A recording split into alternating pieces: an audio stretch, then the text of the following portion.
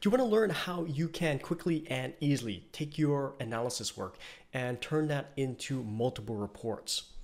Now, this question comes from one of my students, uh, Giancarlo, who's taking one of my courses, R Shiny Flex Dashboards and Interactive Data Visualizations. And basically, this is questioned here, multiple dashboards. Hi, Jonathan. I would like to know if it's possible to build multiple reports slash dashboards from the same script. I have a rather complex project about conver um, conversation analysis. I should then publish several dashboards online, one for each store in a chain of stores. Flex dashboard should be perfect. Do you know if this is possible? Thanks in advance.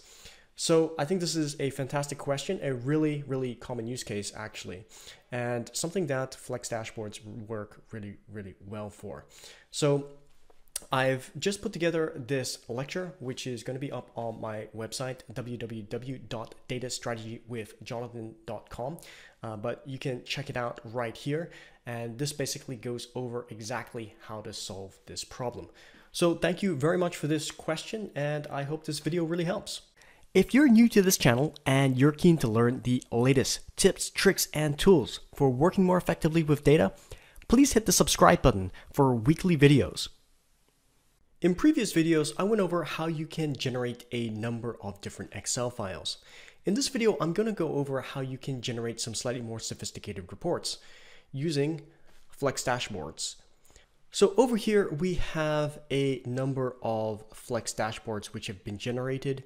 You can see an example over here. This is the uh, Audi file and we have a plot as well as a data table over here where we have pagination control. Here's the one for Chevrolet. And really the thing that to point out here uh, about the benefit of Flex Dashboard is that in comparison to say an Excel file, uh, it's much easier to put these reports together and then parameterize them to generate all these different results. Now, unlike a Shiny application or a Shiny version of a Flex dashboard, this is a standalone Flex dashboard. So it can be sent out in the same way that an Excel file can be. And so it is also a very portable option and a much faster solution for creating uh, some quite sophisticated dashboards and applications. So I'm going to come over back to RStudio.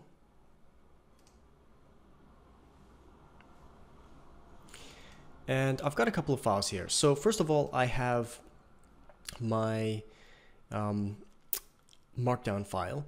So this is the R markdown file, which is set up as a flex dashboard. And this is a pretty straightforward one. Now you might notice a couple of new things in here. So here we've got this section in the YAML header uh, called params. So I've set up two params here, one called data and one called custom title. Now, uh, let's go over the custom title first since this is the simpler type of parameter. So I've got a parameter called custom title and this can be, you can assign a default value here, which is any simple data type. So I could have like text here or a number here or, or something like that in order to parameterize the report. In order to use this particular parameter here, this is how you use it. So in my title, I'm using this syntax here um, inside these single quotes, R params, uh, dollar, and then the name of the parameter. And this is how I'm pulling this parameter um, into the Flex dashboard. Now, for more complicated data types, you can actually pass anything into here, like any type of R object. So what I've done for this particular example is I've just passed in the entire data set. So the data set is being passed into this parameter here called data. And to do this, I'm using this, um, this syntax here. So exclamation mark R basically uh, tells us that this is a more complicated R object instead, instead of one of these slightly more simple data types. So this is what we are doing here. And as we go down the code, I'll show you how you can use this. So as mentioned, this is very simple Flex dashboard. Uh, I just got um, these two pieces here. They're really just one line each. So as you can see, this is actually pretty straightforward. I have here params dollar data and then that's just being piped into our plot over here. And the same thing down over here. So I've got data table and params dollar data over here, and this is being passed into the data table over here. So actually really pretty straightforward. Um, you just need to be able to set it up like that, and that's probably the key thing that you need to be aware of. Now, once we have our, our markdown document parameterized, how do we go off and generate all the different variations of this particular report? So what I'm going to do is I'm going to come over to this other piece of code I've written over here. So over here, uh, and this is similar to other examples I've given uh, using sort of nested data frames in the map function. Um, but over here, what I'm doing is I, am just using the MPG data set, right? So that's, uh, uh, that's what this looks like here. And if you haven't seen this before, the nest function, basically what this does is, let me just show you it. Um, okay, so this is our uh, starting data frame. And what I'm going to do next is I'm going to nest it, which effectively does this. So here we have uh, Audi and we have basically all the manufacturers and all of these are a table containing a uh, basically a subtable containing uh, all the rest of the data right? So really a pretty cool kind of function. So now I've got uh, a data frame uh, with uh, two columns. This I'm going to use for the title as well as the file name and then the data is basically a data frame that I'm going to pass through uh, to populate the charts and data tables and all that sort of thing. So that we have there. And here is the map function I'm going to be using. So this particular ver version of the map function is a pmap function. Now pmap stands for parallel map. And it, sound, all sounds kind of fancy, but basically what this allows you to do is it allows you to, uh, well, the map function allows you to iterate, and the pmap allows you to iterate through um, several items at once. Uh, it's very good for iterating through a data frame like we have here. So usually the map function just works on a single list or vector, which would effectively be like iterating and just doing something with one of these columns.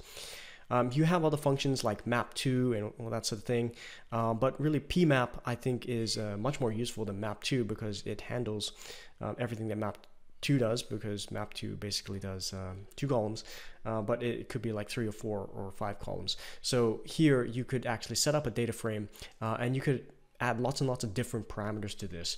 Um, if you were doing some other kinds of custom reporting, maybe you, for argument's sake, you could um, change the color of the report or something like that for a particular department or um, have different types of settings that you could have in the data frame uh, and then pass all of those parameters through using the same way uh, using this pmap function. So here I've got the two columns and the name of these columns is well manufacturer and data. So what I'm doing is I am uh, creating this uh, temporary function here and um, this is basically the input from, from the function. And because these uh, basically match the names over here, then these are just going to suck these right in and enable me to use them as parameters over here. So there's the manufacturer one. And uh, let me go over this a little bit more first, actually. So I'm passing these parameters into this uh, Markdown render function. Now, the first parameter of this R markdown render function is basically the report name. So this is the, uh, the Markdown file uh, that we are going to use for this example. This is the one that we're looking at earlier. Uh, now, another cool thing for this as well, instead of just having one R Markdown file, uh, you could actually have lots of them, right? So if you had, say, a different report that you wanted to generate for each, uh, say, department or whatever you were doing, uh, then you could create lots and lots of different variations of these and basically tell it to use a different file depending on your circumstances. So something you could potentially do there.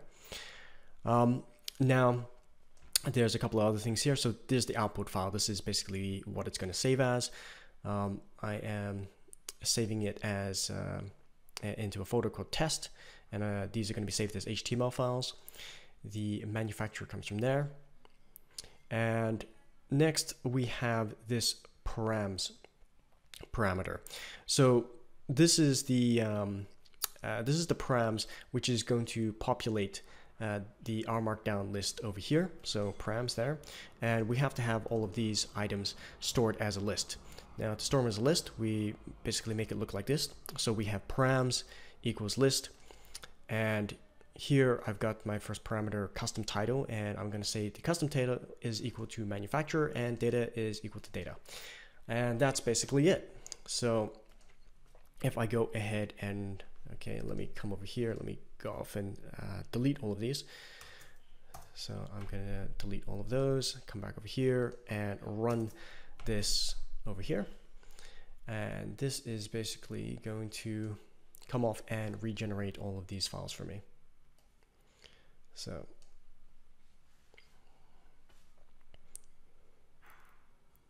you can basically see that happening there. Cool.